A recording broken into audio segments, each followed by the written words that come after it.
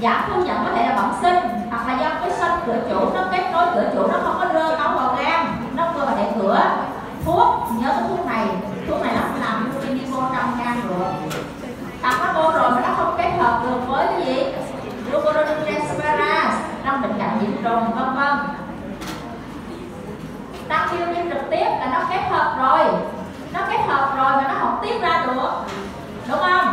Thì trong bệnh cảnh nó giảm tiết hoặc là do tắc nghẽn như vậy mình có năm cơ chế tăng bilirubin ba cơ chế là do là tăng gián tiếp và hai cơ chế là tăng trực tiếp. Tăng trực tiếp là nó kết hợp rồi nó không tiết ra ngoài gan được. Hoặc là nó kết hợp rồi nó ra ngoài gan rồi, nhưng mà đường mật tắc hoàn toàn. Tắc hoàn toàn mà để được partial là tắc bán phần complete complete là tắc hoàn toàn, lúc đó bilirubin nó mới tăng nghe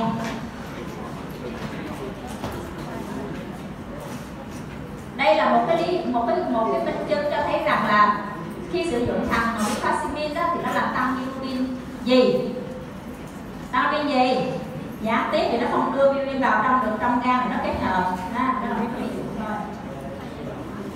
Khi đọc bilirubin hãy lập cái tỷ số này ra mà đọc. Cái này học năm hai chưa? Rồi rồi thì hỏi học lại.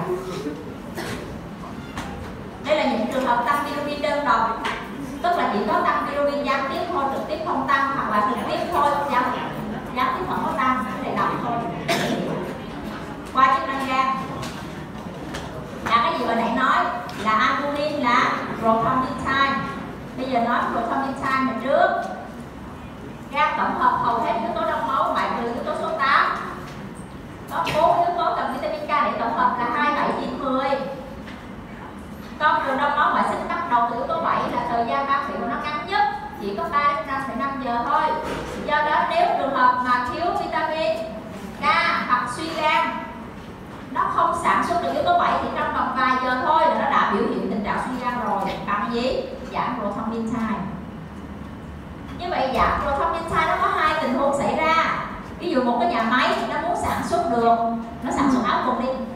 Một nhà máy nó muốn sản xuất được áo quần thì nó phải có nguyên liệu và nó phải có máy.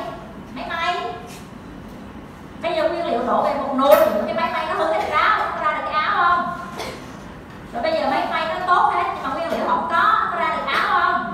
Giờ làm sao phân biệt hai cái này? Nếu thiếu nguyên liệu tôi đổ nguyên liệu vô, mà nó phục hồi, thì là do cái nguyên liệu. Còn nếu tôi đổ đông nguyên liệu vô, tôi thấy nó xi nhê chuyển như thế, thì là do gì? Máy móc. Ga không dễ thôi. Nguyên liệu nó là gì?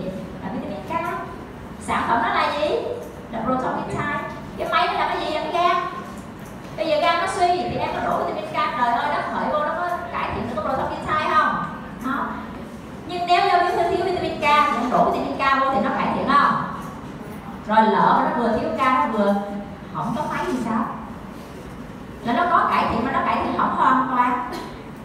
Ví dụ toàn bộ là do thiếu nguyên liệu thì tôi đổ nguyên liệu vô nó phải cải thiện một trăm trăm. Nào mà nó suy gan hoàn toàn là suy gan không thiếu nguyên liệu tôi đổ nguyên liệu vô nó không ra gì hết. Nhưng nó cả hai thằng đều ảnh hưởng thì nó cũng có cải thiện. Nhưng mà cải thiện nó không hoàn toàn. Như vậy có mấy tình huống xảy ra?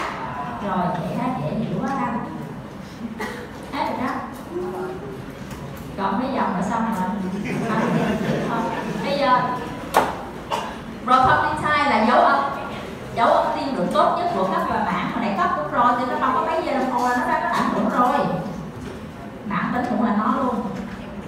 Nhưng mà vì đối với bệnh nhân mà sơ gan, suy gan á nó còn ảnh hưởng cả quá trình đông máu và cầm máu do đó cái prothrombin này nó không phản ảnh chính xác được cái mức độ chảy máu đâu đôi khi bệnh nhân này prothrombin nó kéo dài hơn bệnh nhân kia nhưng nó chảy máu là gì ít hơn thì nó còn quá trình gì quá trình tăng đông nữa. À, rồi nó còn quá trình nó nữa đó là cái nó hơi cao thấp hơn nhiều hơn albumin albumin chỉ duy nhất do gan sản xuất. Albumin do gan sản xuất. Nhưng albumin này nó giảm trong máu nó nhiều nguyên nhân lắm này nha. Suy gan cũng giảm vì nó không sản xuất được này suy dưỡng ổng cung cấp nguyên liệu lấy gì gan sản xuất này. Ăn vô sản xuất cho đã rồi cái tiểu ráo còn gì hết trơn là không vô mình ăn nhiều vô đi cầu hết ráo không hấp thu được nè. Rồi chứng bệnh luôn mất nặng như vậy ăn có chuyên biệt không? Không. Chứ ăn cho chỉ là một dấu ấn nhưng mà không chuyên biệt cho gan. Thằng nào chuyên biệt hơn? Thằng rồi thông minh sai đánh trắc nghiệm, tôi hỏi cái nào, xét nghiệm nào, chuyên biệt cho đánh giá chức năng gan thì làm ơn anh dùng tôi rồi thông minh sai. Đánh albumin đó ráng chịu. Cái này nó không phải là dấu suy gan cấp nếu suy gan cấp bị prothrombin thai rất sớm, nhưng mà albumin nó chỉ trong trường hợp suy gan mãn, tính nó bị ảnh hưởng thôi. Thành ra dấu ân để đánh giá suy gan cấp là chỉ có prothrombin thai. Nhưng dấu ân để đánh giá suy gan cấp suy gan mãn thì cả hai thằng. Nhưng thằng nào chuyên biệt hơn thì đánh thằng đó. Rồi tùy câu hỏi mà đánh. Hiểu chưa? Thế đó. Đây là một đống tài liệu tham khảo. Đây là cuốn sách của tôi, sách mới nhất.